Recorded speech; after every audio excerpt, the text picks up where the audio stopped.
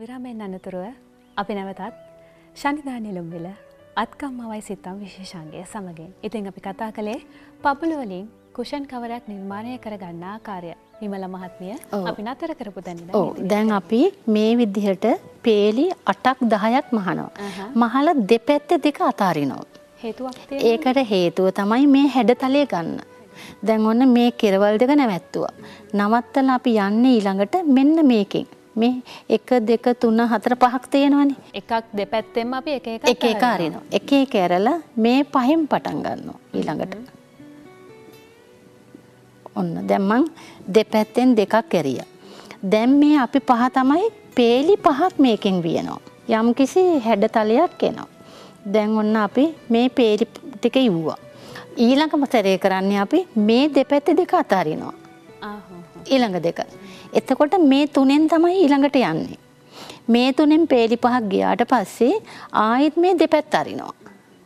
එච්චරයි මේ මල් එතකොට අපි යට පැත්තට ඉදිකට්ට ගහලා මේ විදිහට හැඩතලයේ එන්න අවසාන කරගන්න. ඒ කරගෙන මෙතන අපිට මැද ඉතුරුයිනේ.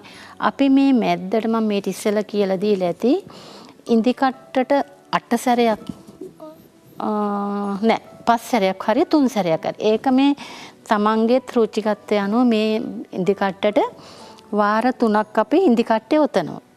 ඒක දැන් මේ තියෙන මල කහපාටනේ අපි එහෙනම් මෙතෙන්ට එක්ක සුදු පාට නැත්තම් කැමති වර්ණයකින් ෆ්‍රෙන්ච් නොට් මැද්දට එකක් දාලා වටේට අටක් විතර දානවා. දාලා ඉවර වෙලා මේක තව සම්පූර්ණ නැහැ. දැන් අපිට මේ තියෙන්නේ ඔක්කොම හිඩස්. අපිට කුෂන් කවරයක් කරනකොට මේක පිරෙන්න තියෙන්න ඕනනේ. ඊළඟට අපි මෙයින් අපි මල් තුනක් විතර තවත් මහනවා තව දෙකක්. එතකොට අපිට මේ හැම පැත්තම හිඩස්. ඒකට අපි කරන්නේ විවිධ පාටවල් වලින් අරගෙන මේකෙන් මල් කිනිති දාගන්නවා. ඒ දාගෙන මම මේ ඉස්සෙල්ලා මේගොල්ලන්ට බ්‍රසීලියන් එම්බ්‍රොයිඩර් කියලා දීලා තියෙනවා.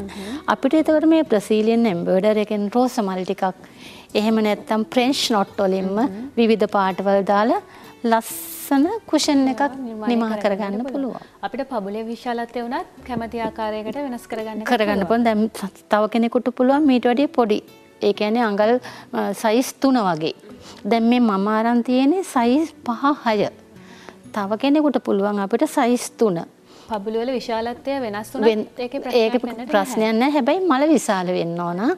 මෙතන දාන ප්‍රමාණයත් එතකොට විශාල වෙනවා.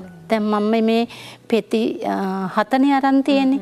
දැන් මලේ පෙත්තේ විශාලත්වය අනුව අපිට පුළුවන් දැන් බෙදෙන්නේ නැති ගානකට මේ ටික ඉරවල් ටික ගහගන්න එක තමයි තියෙන්නේ පබුලු දාලා. ඉතින් දැන් මම මේක ඇන්දෙන්නේ නැහැ. නොදන්න කෙනෙකුට අපිට පුළුවන් තව විදිහක් කරන්න මේ මල්ලි පෙති දැන් අපි හිතමු මලට දාන්නේ අපි පෙති හතරයි. කොපි කොලයක් හරි A4 කොලයක් හරි අරගෙන හතරට නවලා අපි මේකේ හැඩතලයක් අඳිනවා. කොලේ කොලේක. හැඩතලේ ඇඳලා ඉවර වෙලා මේ හැඩතලේ අපි කතුර භාවිතා කරලා හැඩතලයේ පෙත්තක් කපනවා.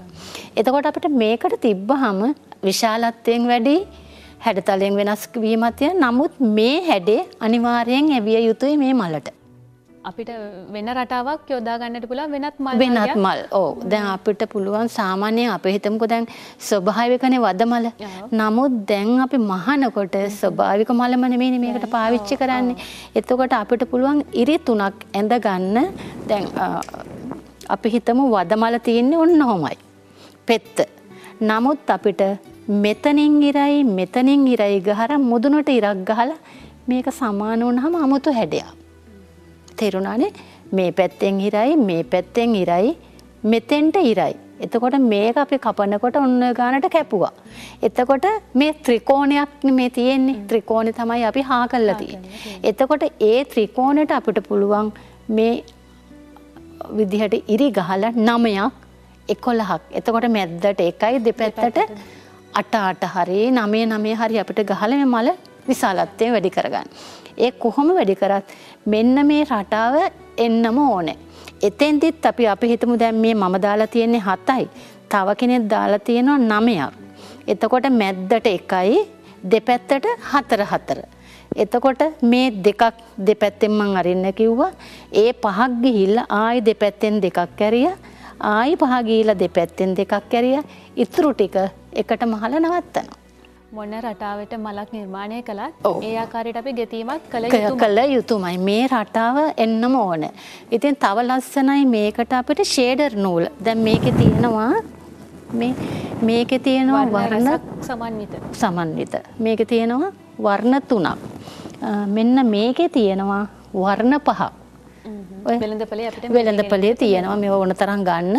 එතකොට අපිට මේ මල මැව්වහම මීට වැඩිය ලොකු වෙනසක් එනවා. මම මේ කළු රෙද්දම ගන්න කියලා පාවිච්චි කරන්න කියලා කියන්නේ නැහැ. තමන්ගේ සෙටිය අනුව බිත්තිවල වර්ණය අනුව අපිට මේ කුෂන් රෙද්ද තෝරා ගන්න පුළුවන්. එතෙන්දි මේ නූල් උනත් අපිට මේ දෙකටම ගැලපෙන ආකාරයට රෙද්දත් නූලුත් අපිට පාවිච්චි කරන්න පුළුවන්. විමල මහත්මය අපේ ප්‍රේක්ෂක හිතවතකුට හෝ හිතවතියකට හිතනවනං මේ රටාවට එහෙමත අපේ මේ නිර්මාණයට ශාක පත්‍රයක් යොමු කරගන්නට පුළුවන්. හැකියාවක් තිබේද. පුළුවන්. ඉතින් අපිට දැන් මේක දැන් අපි මේ කොළ මල් විතරනේ. දැන් අපිට ශාකයක් කොළයක් පාවිච්චි කරනකොටත් අර ආකාරයටම අපිට කොළේ හැඩ කරගන්නවා. ඒ කොළෙත් අපිට ස්වභාවික කොළේ නෙමෙයි අපි මලක් මහනකොට කොළ වෙනස් වෙන්න පුළුවන්.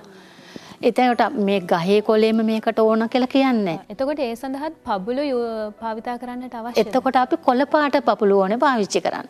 නූල් කොළපාට විය යුතුයි, පබුලු කොළපාට විය යුතුයි. දැන් තව එකක් තියෙනවා දැන් සමහර කොළ කහපාටයි කොළපාටයි ෂේඩර්. එතකොට අපිට ඒ විදිහට පාවිච්චි කරන්නත් පුළුවන් නැත්නම් කොළපාට වර්ණ දෙකකින් ගලපලා මහන්නත් පුළුවන්. ඉතින් තමන්ගේ රුචිකත්වය අනුව අපිට කුෂන් එක අඟල් දාසය හමාරයි දාසය හමාට අරගෙන අර වෙනද කිව් ආකාරයටම කුෂන් එක මහලා නිමා කරගන්න පුළුවන්. පැහැදිලි ඇති කියලා මම හිතනවා. ඔබට ඒ පිළිබඳව ගැටලුවක් තිබේ නම් ඔබට පුළුවන් අපේ විමල මහත්මියට දුරකථන ඇමතුමක් ලබා දෙන්නට විමල මහත්මිය අපි කළා. බින්දුවයි හතයි හතයි හයිසිය තිස්තුනයි හැත්ත නමයයි අසූතුන. නැවත වතාවක් බින්දුවයි හැත්ත හතයි හයිසිය තිස්තුනයි හැත්ත නමයයි අසූතුන.